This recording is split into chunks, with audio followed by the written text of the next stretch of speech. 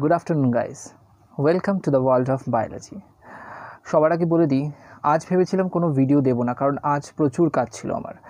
স্কুলেরও class ছিল। তার সাথে সাথে তোমাদের ভিডিও স্ক্রিপ্ট করতেও বেশ কিছুটা সময় লাগে। আমি রেগুলারই ভিডিও দেবো বাট আজ যেহেতু অনেকগুলো কাজ ছিল, তাছাড়া আমার নিজস্ব কিছু পার্সোনাল কাজ ছিল, পড়াশোনা বা কিছু কোচিংয়েরও কাজ ছিল। তাই সেগুলো করতে গিয়ে মানে বেশ তোমাদের স্ক্রিপ্টটা খুব একটা রেডি করতে পারিনি, ফলে ভেবেছিলাম আজ কোনো ভিডিও দেবো না। বাট তোমাদের সাথে কিছু ইনফরমেশান শেয়ার না করলে মনটা ঠিক খারাপ হয়ে যায় বা ভালো লাগে না। তাই ভাবলাম একটা ভিডিও করেই দিই। বাট কি বলব সেই ভিডিওতে পড়াশোনা তো রোজ করি। বা অনেকগুলো ভিডিও দিয়েছি, সেগুলো হয়তো প্রত্যেকটা দেখা হয়ে ওঠেনি বা সেগুলো হয়তো একবার দেখে ভুলে গেছো, আবার দেখতে হবে। সেগুলোকে বারবার দেখা বা প্রয়োজন আছে বা সবার সাথে শেয়ার করার তো প্রয়োজন আছে, সেই কনসেপ্টগুলোকে নিতে হবে। আজকে বরং আমরা একটু হলিডে পালন করি বা একটা ছুটির দিন বা একটু একটু নর্মাল ডে থেকে, পড়াশোনার রুটিন থেকে একটুখানি সময় বার করে নিই, একটু স্পেশাল কিছু ডিসকাশনের জন্য। তার সাথে সাথে ইম্পর্টেন্ট মেসেজ দেওয়ার আছে। কারণ আমাকে কিন্তু ফোনে বা মেসেজে বা ইউটিউবেও প্রচুর বা সোশ্যাল মিডিয়া ফেসবুক হোয়াটসঅ্যাপে প্রত্যেকে জিজ্ঞেস করছে, যারা স্কুলে পড়ো, পঞ্চাশ পঞ্চশারে পড়ো, তারা যে অনলাইন ক্লাস টেন আর টুয়েলভ স্টার্ট হয়ে গেছে, তোমাদের নাইন এইট সেভেন তোমাদের সোমবার স্টার্ট হচ্ছে। যে স্যার কী করে লগ ইন করব, কী করব হ্যান করব, ত্যান করব, অনেক অনেক প্রশ্ন, অনেক কনফিউশন তার একটা উত্তর দেওয়ার চেষ্টা করি।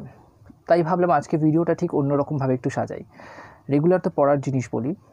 কালকেও বলব ইমিউনিটি নিয়ে বলছি আমি, একটা প্ল্যান আছে আমার, সেটা বলি। সেটা হচ্ছে প্রথমত যেটা করব সেটা হচ্ছে ইন ফিউচার তোমাদের ইমিউনিটি চ্যাপ্টারটা শেষ হওয়ার সঙ্গে সঙ্গেই আমি স্টেম সেল থেরাপি নিয়ে বলব। ক্যান্সার ট্রিটমেন্টের জন্য যেটা বলা হয় বা যে কোনো রকম রোগ সারানোর জন্য স্টেম সেল থেরাপি কিন্তু বলা হয় যে মোক্ষম দাবাই যেটাকে বলা হয়। তার কারণ স্টেম সেল দিয়ে সমস্ত রোগ সারানো যায়। যদি স্টেম সেল ব্যাপারটা কী, সেই স্টেম সেল দিয়ে কী করে সারানো যায়? যে কোনো রোগ যে কোনো মারণ ব্যাধি কিন্তু সারানো যেতে পারে স্টেম সেল বা জিন থেরাপি দিয়ে। তাই ভেবে নিয়েছি এটাই আদর্শ সময় যে এই ইমিউনিটি চ্যাপ্টারটা যেদিন শেষ হবে, তার পরের দিনে আমরা তোমাদের সিলেবাসের একটু বাইরে একটু অ্যাডভান্স স্টাডিজ হিসাবে স্টেম সেল থেরাপি নিয়ে বলব, তার সাথে সাথে জিন থেরাপি নিয়েও বলব। ডিটেলস আইডিয়া নিজে হাতে বানিয়ে তোমাদের কাছে রিপ্রেজেন্ট করব খুব সহজভাবে, যাতে তোমরা যারা লোয়ার ক্লাসেও পড়ো, যারা একটু হায়ার ক্লাসেও পড়ো, প্রত্যেকের কনসেপ্টটা ক্লিয়ার হয়ে যায়, সেটা বলব। তার সাথে সাথে ভেবেছি লাইভ কুইজের একদিন আমি করব, সেটা নোটিফিকেশান আগে দিয়ে দেবো, সবাই লাইভ থাকবে, সেটা ভেবেছি। তার সাথে সাথে আরও একটা জিনিস ভেবেছি, যেটা প্রত্যেকের কাজে লাগবে, সেটা হচ্ছে মেডিসিনাল প্লান্টস আর তার ইম্পর্টেন্স ক্লাস এইটে একটা চ্যাপ্টার রয়েছে, প্রত্যেকটা ক্লাসেই কম বেশি রয়েছে। কোন কোন গাছ দিয়ে কী ওষুধ তৈরি করা হয় এবং সেটা থেকে কোন কোন রোগ থেকে মুক্ত কোন কোন রোগের চিকিৎসা ইউজ করা হয় এবং ঘরোয়া কিছু টোটকা, সেই সমস্ত গাছ থেকে নিজেরা কিছু ওষুধ তৈরি করতে পারি বা নিজেরা কিছু ট্রিটমেন্ট করতে পারি বা আমাদের চারপাশে মানুষকে হেল্প করতে পারি। তাই কিছু ভেষজ উদ্ভিদ বা মেডিসিনাল প্লান্টস ইউন আর তার সাথে সাথে বইতে যেগুলো আছে সেগুলো তার সাথে সাথে ইউনিক কিছু প্লান্টস বা তাদের থেকে পাওয়া উপাক্ষার এবং কোন কোন জিনিসগুলো কাজে লাগে এবং মেডিসিন তৈরি করার উপায় বা কোন কোন রোগের ওষুধ সারানো যায় সে তৈরি করা যায়, ওষুধ মানে রোগ সারানোর সেগুলো নিয়েও কথা বলব। তাই সেগুলো আমার ফিউচার প্ল্যানস তাছাড়াও পড়ার টপিক তো রয়েইছে, সেগুলোও বলব তো ইন ফিউচার এগুলো আসতে থাকবে পরপর। তো আজকে আমি ভাবলাম তোমাদের সঙ্গে শেয়ার করে নিই সবার আগে ইম্পর্টেন্ট মেসেজটা তারপরে দুটো কথা বলব। একটা হচ্ছে কি না, একটা হচ্ছে তোমার অ্যাক্সোলটার লার্ভা নিয়ে বলেছিলাম, বলব মেক্সিকোতে অ্যাক্সোলটার লার্ভা মেক্সিকোর লেকে পাওয়া যায়। একটা অদ্ভুত প্রাণী স্যালামেন্ডার বলা যেতে পারে, এরা বড় হয়ে স্যালামেন্ডার হয় আর কি। তো সেই অ্যাক্সোলটার লার্ভা নিয়ে একটা কথা বলব। সেকেন্ড একটা গাছের কথা বলব, যে গাছটা আলো দেয়। ভাবো, একটা আলো দেয় একটা গাছের কথা, চেষ্টা চলছে, তার উপর রিসার্চ চলছে। মার্কিন গবেষণার কিছু মার্কিন ইউনিভার্সিটি ইউএসের একটা এমআইটি ইউনিভার্সিটি তারা রিসার্চ করছে এটা নিয়ে। সেই গাছটা আলো দিতে পারে, সেটা নিয়ে কথা বলব। আর তার সাথে সাথে কি বলব? কুইজ কুইজ তো থাকছেই কালকে কুইজ দিন একটা সিচুয়েশন দিয়েছিলাম। তো অনেকেরই হয়তো পছন্দ হয়নি। আর আমার কুইজের কিন্তু সবচেয়ে বেশি আনসার দেয় কিংশুক তো তো সবার কথা মাথায় রেখেই কুইজই দিই আজকে। আবার ইন ফিউচার কোনো না কোনো সিচুয়েশন আবার নিশ্চয়ই দেবো। তাই এইগুলো, এই তিনটে জিনিস নিয়ে আজকে কথা বলব। চলে এসো সবাই, আর প্রচুর লাইক করতে থাকো সাবস্ক্রাইব করতে থাকো, বন্ধুদের সাথে শেয়ার করতে থাকো, যাতে সবাই জানতে পারে এবং সবাই আরও বেশি আমি উৎসাহ পাই এবং সবাই আমাকে অনেক অনেক শুভকামনা পেয়ে ইন্সপিরেশন দেয়, কারণ তোমরাই আমার ইন্সপিরেশন চলো, চলে এসো এই তিনটে টপিক নিয়ে ডিসকাশনে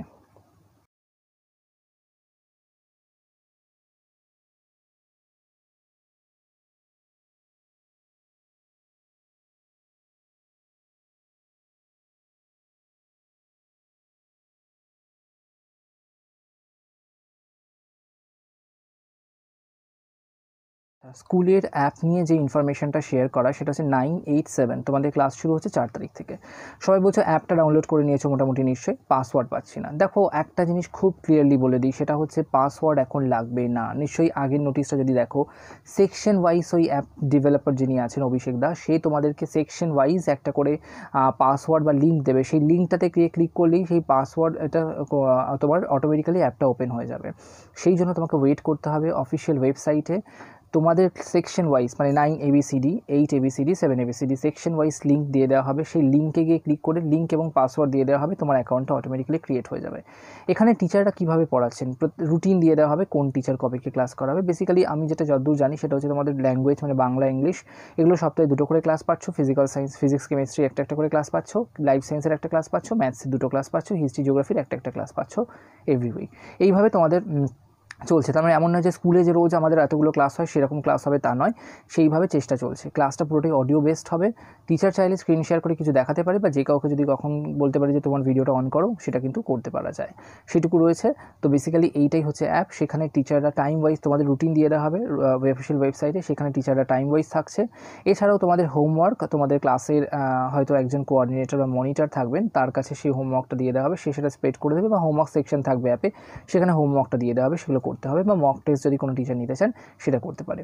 তাই যেটা করতে হবে সেটা হচ্ছে ইউ হ্যাভ টু ওয়েট সোমবার থেকে ক্লাস রোববার অবধি ওয়েট করতেই হবে। আজকে বা কাল রাতে হয়তো ওয়েবসাইটে পেয়ে যাবে যে কীভাবে কীভাবে দেবে। লিঙ্কটা পাবে এবং তার সাথে সাথে পাসওয়ার্ড পাবে। তাই প্রত্যেকটা সেকশনে বা প্রত্যেকটা ক্লাসে আলাদা আলাদা করে কিন্তু রয়েছে। তাই ইউনিভার্সাল কোনো পাসওয়ার্ড নিয়ে চিন্তা করার কোনো ব্যাপার নেই। সবাই লগ ইন করতে পারবে।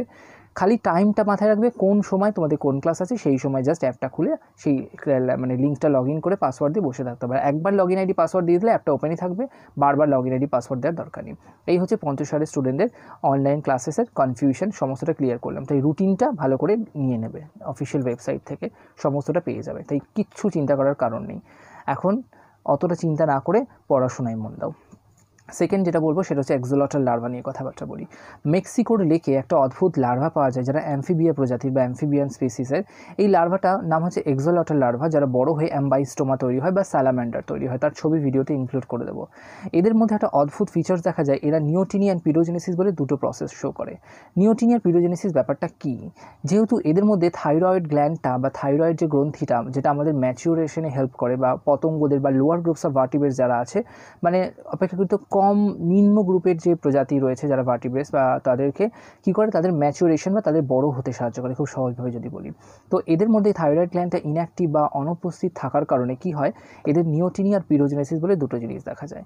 নিওটিনি মানে হচ্ছে এদের লার্ভা দশা, কারণ আমরা জানি যখন যারা সন্তান প্রসব করে না, তাদের জীবনচক্রে কী কী স্টেজ দেখা যায়? এগ লার্ভা পিউপা অ্যাডাল্ট এই চারটে স্টেজে দেখা যায়, এটাকে বলা হয় মেটামরফোসিস তো এদের লার্ভা দশার কিছু কি হয় না? এরা বড় হতে সময় নেয়। তার মানে হচ্ছে কি না এরা বড় হয়ে গেলেও এদের লার্ভা দশার মানে ছোটোবেলার কিছু ক্যারেক্টার বা জুভেনাইল পিরিয়ডের ক্যারেক্টারগুলো থেকে যায়।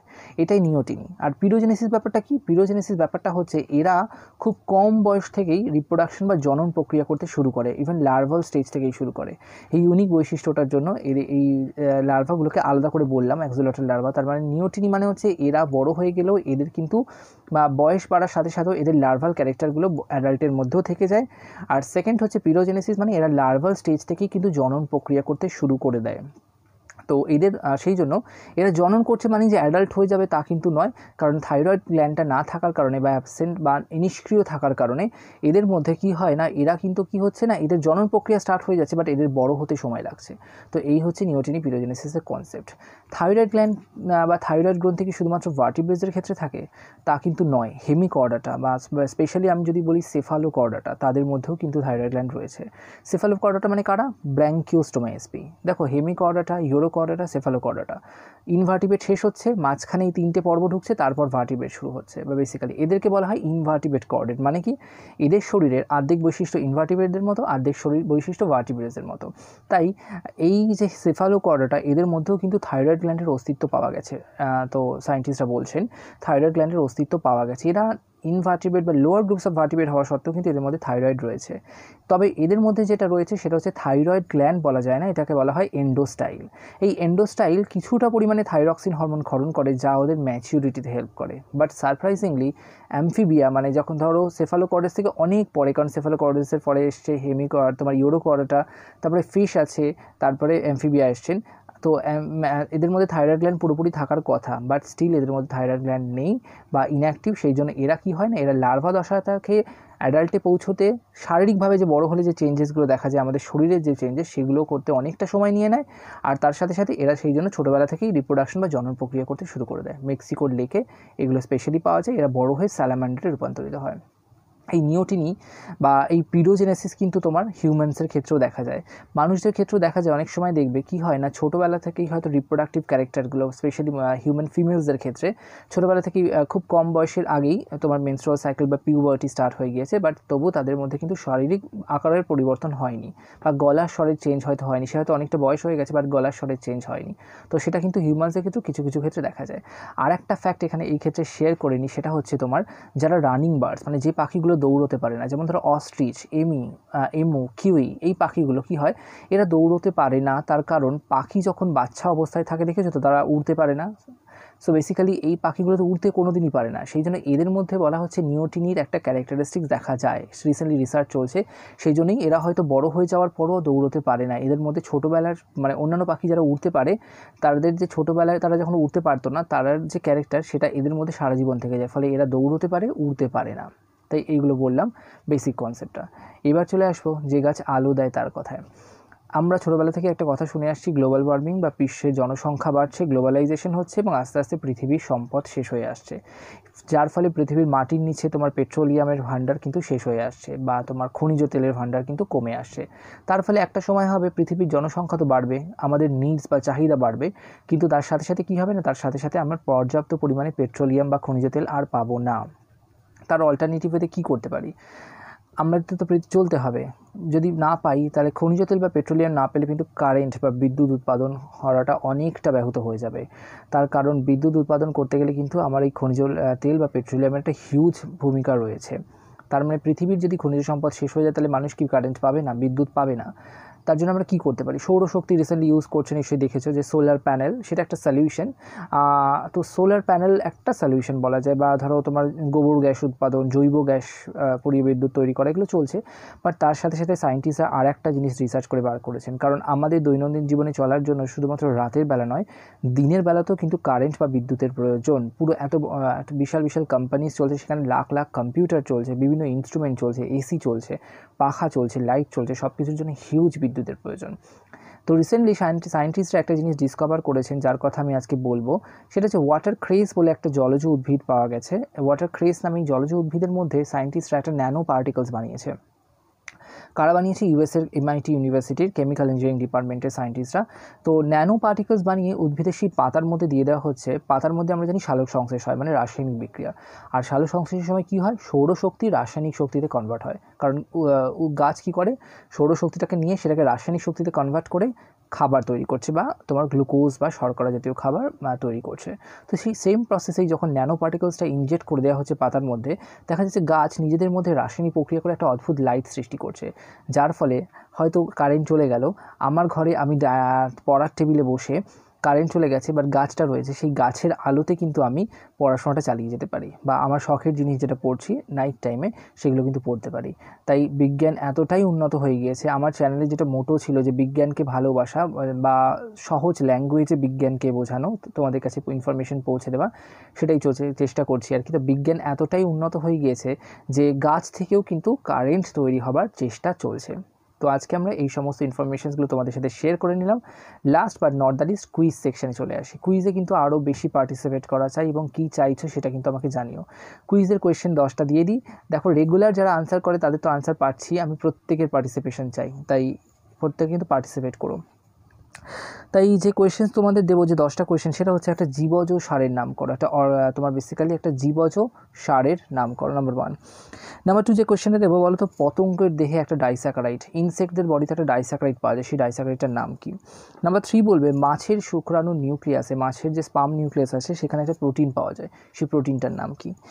নাম্বার ফোর আমাকে যেটা বলবে, সেটা হচ্ছে যে কোয়েশ্চেন্সটা দেবো ভেস হ্যাঁ প্রস্টেট ক্যান্সার যখন হয়, পুরুষদের ক্ষেত্রে, কারণ পুরুষদের প্রস্টেট গ্ল্যান্ড থাকে প্লাজমাতে একটা উপাদানের পরিমাণ বেড়ে যায়। সেই উপাদান বা কম্পোনেন্টসটা কী? যার ফলে প্রস্টেট ক্যান্সার হয়েছে প্রথমেই ব্লাড টেস্ট করলে কিছুটা পরিমাণে ডায়াগনোসিস করা যেতে পারে প্রস্টেট টেস্ট না করেও, সেটা আমাকে বলবে।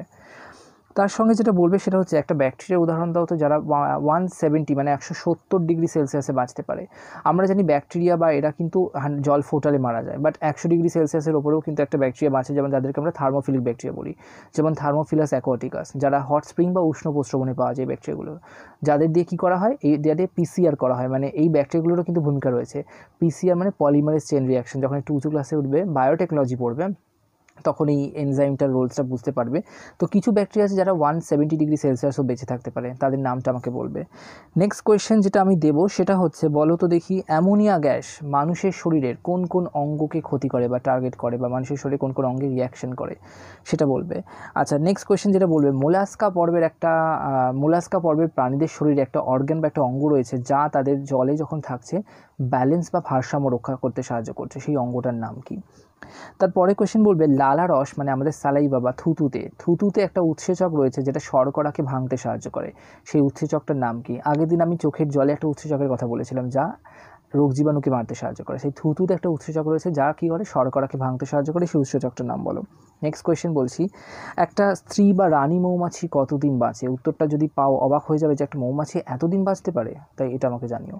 আর লাস্ট কোয়েশ্চেন যেটা দেবো, সেটা হচ্ছে রেশম মথ মানে সিল্ক সিল্কওয়ার্ম যাদের সিল্ক তৈরি হয়, যেখান থেকে সিল্ক ফাইবার নিশ্চয়ই জানো তো রেশম মথের লালা থেকে সিল্ক তৈরি হয়। যে সিল্কের তারপর সেই সিল্কের সেই ফাইবারগুলো দিয়ে কাপড় বা বিভিন্ন কাজে লাগানো হয়। কোন গ্রন্থি থেকে তৈরি হয় বলতো? রেশম মথের শরীরে বা মুখের মধ্যে একটা গ্রন্থি রয়েছে, যেখান থেকে লালা তৈরি হয় বা সিল্ক তৈরি হয়, সেটা বলবে। তাই আজকের জন্য এই দশটা প্রশ্ন রইল। কালকে আমি আবার ইমিউনিটিটা কমপ্লিট করব। কালকে আমি বলব অ্যান্টিবডি কী করে অ্যান্টিজেনকে মারে, তার রিয়াকশানটা ডিটেলসটা দেখাবো। তো সেগুলো বলব, তার সাথে সাথে ভ্যাকসিন নিয়ে কথা বলব। ভ্যাকসিন তো, বা অ্যান্টিবায়োটিক নিয়ে কথা বলব। এইভাবেই আমাকে ফলো করতে থাকো সাবস্ক্রাইব করো, সবার সাথে শেয়ার করো লাইক করো, এবং সবাই সেফ থেকো। Thank you